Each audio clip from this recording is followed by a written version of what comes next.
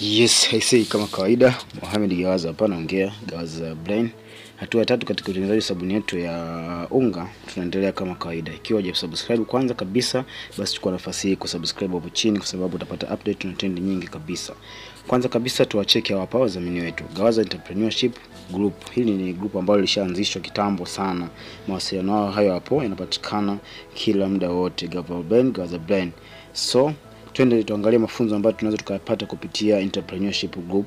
Kuna sabuni za maji, kuna sabuni za unga kama hizi nilizoifanya leo hii, kuna sabuni za vipande, kuna kuna hand wash, eh, kuna utengenezaji vile vile multipurpose soap, vile vile kuna utengenezaji wa shampoo zile za nywele, kuna utengenezaji wa handles cleaner, kuna utengenezaji mafuta mgando, lotion, disinfectant, perfume, medicated soap na kadhalika. Vipo vingi vingi vingi kabisa, angalia mwenyewe unachokipenda hapo.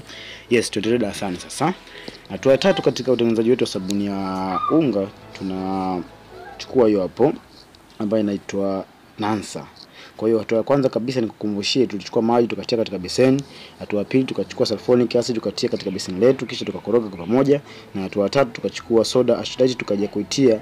Mpaka hapo unapoona tumeshatia vitu vitatu, kisha tukaja kutia kitu cha nne hicho hapo kinachoitwa Nansa. Say mimi nafanya kazi sana mpaka usiku nafanya kazi kwa ajili ya, ya kwa sababu yako wewe upate vitu virahisi rahisi. Sasa mtu anakuja kucomment YouTube pale anasema haweki vipimo, haweki hivi na hivi na hivi, hajui kazi ambayo mimi nafanya sana. Mimi nafanya sana kazi jamani, nafanya mpaka usiku. Mtu na wewe umelala, lakini naamua kuandalia video na edit, nafanya hivi na hivi eh, kwa ajili yako wewe. Hivi wewe umesha kujiuliza Tanzania kuna wajasiriamali wangapi?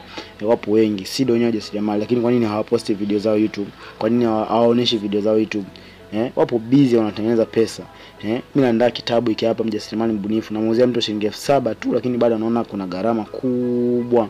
Jiulize, kuna vitabu vingapi vya ujasiriamali na unanunua kwa bei gani? Mtu kitabu anauza mpaka shilingi elfu ishirini kitabu chenyewe ukiangalia ndani hata akieleweki. Kwa hiyo video hizi natakiwa ushare, ulike, ucomment vitu vingi sana. Mimi nitakuendelea kufuatilia, nitajibu komenti zenu YouTube.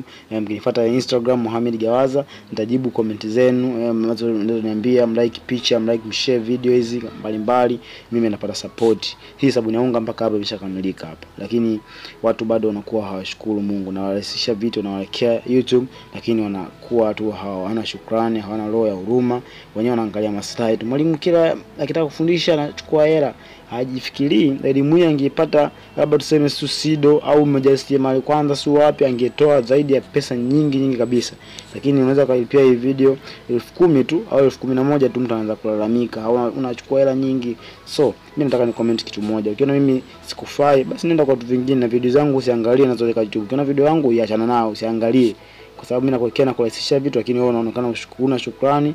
Watu watu wajasiriamali wengi, lakini wako busy wanatengeneza pesa.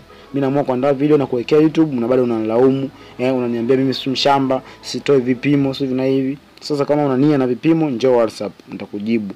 Lakini kwa wale wajasiriamali wenzangu, wale ambao wapo tunaenda sawa, vipimo vyote vinapatikana WhatsApp na wapatia vipimo kwa document mbalimbali. Kwa hiyo then hapo utamaliza, utaweka perfume kiasi ambacho unakitaka, utaianika sabuni yako kivulini. Kuna ile zana ambayo watu wanadanganyana kwamba kuna kitu inaitwa hydrogen peroxide ina boost sabuni. Ile bwana si ya ukweli. E, mimi nasema leo hii si ya ukweli. Hydrogen peroxide haina uwezo wa kuboost sabuni ikafikia mara mbili ya kiwango ambacho umetengeneza. Labda umetengeneza kilo nne, unataka ifike kilo ngapi? Kilo nane. Hiyo sio, haipo, haipo kabisa, haipo. Kama unabisha wewe, tumia, utatumia mpaka mara elfu moja na haita sabuni yako ongezeka. Shukrani sana, asante, na huu ndio mwisho wa video hii ya tatu.